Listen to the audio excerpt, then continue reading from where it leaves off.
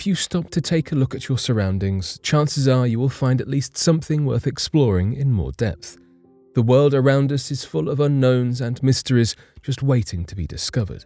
If you are anything like us, you are always looking for the latest strange phenomena or discovery. We have covered a little bit of everything from bizarre archaeological discoveries to theories about extraterrestrials and unusual plants and creatures.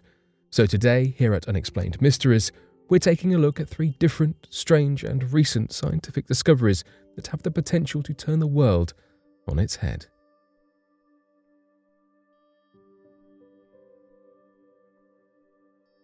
Fungi found in Chernobyl feeds on radiation. Scientists in Russia have discovered a type of fungi in Chernobyl that uses the process of radiosynthesis to feed on the area's radiation. This fungus, now identified as Cladosporium sphaerospermum, has been found to block harmful radiation and use melanin to convert gamma radiation into chemical energy.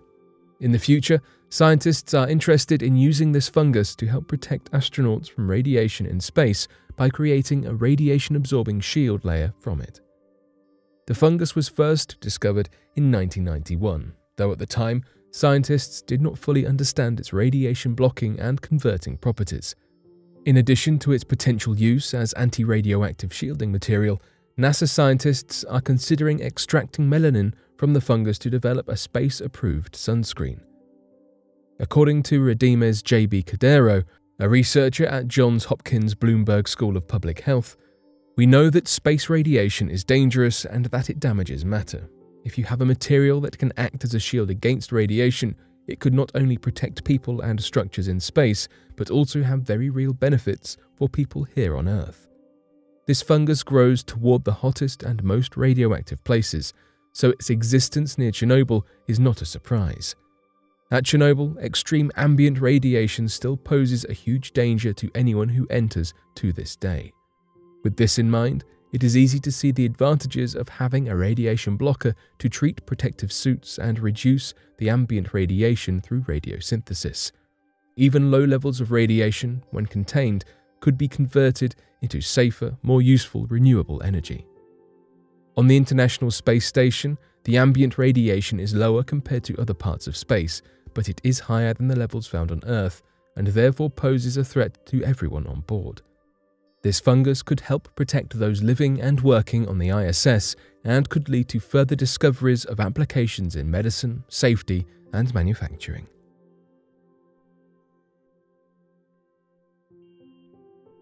We've detected the closest extragalactic FRB yet. Have we found the closest extragalactic fast radio burst? Astronomers think so. Better yet, it appears to have come from a surprising location. FRBs are powerful, brief emissions of light that come from unknown sources. It is only for the last two decades that we have known they have existed. So many questions about them have yet to be answered, but scientists now know that the closest FRB comes from a different galaxy than ours, and it is only 11.7 million light years from Earth. Dr. Bryan Gaensler, director of the Dunlap Institute for Astronomy and Astrophysics, said in a tweet about the discovery we found a fast radio burst in a globular cluster. This is definitely not a place where fast radio bursts are expected to live. Just what is going on? This relatively close FRB has been dubbed FRB 202000120E. When we say relatively close, we mean that the FRB is about 40 times closer than the next closest extragalactic signal. It also appears, as previously mentioned, in a clump of incredibly old stars. This is not typically a place in which you would expect to find them. This discovery suggests FRBs can emerge from a wider range of environments than we previously thought. These bursts of light, however, are notoriously difficult to research. The bursts occur briefly, as in less time than the blink of an eye, and tend not to repeat. These two factors illustrate why the fast radio bursts are so hard to predict, trace, and understand. No matter what remains to be found about FRB 202000120E, one thing is certain. This FRB will shake up the scientific community and maybe teach us something new about star interactions in globular clusters. Only time will tell what happens next.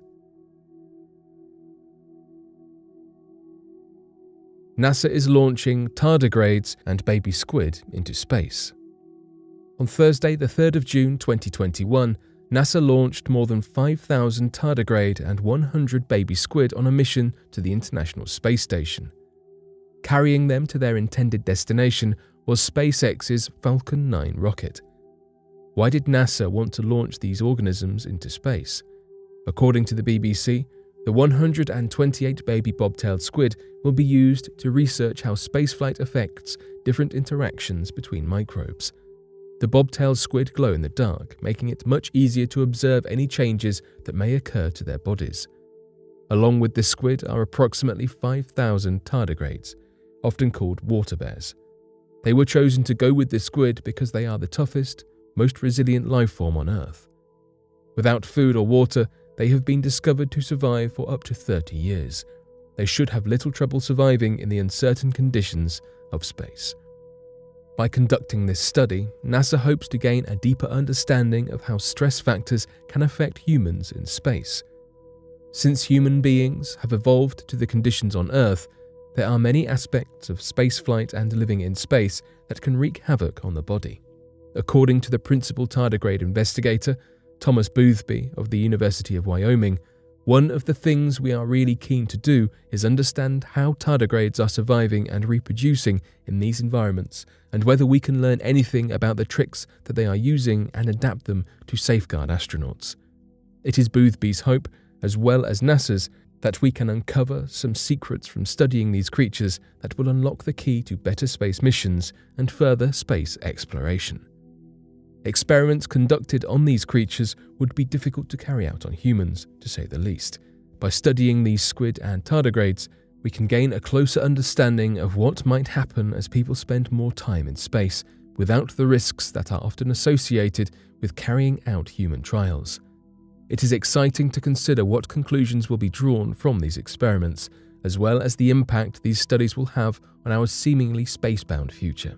As we learn more, we will gladly share our findings here. It goes almost without saying that unexplained mysteries are some of the most fascinating aspects of our existence. One of the best parts of life is discovering everything you have yet to learn about the universe.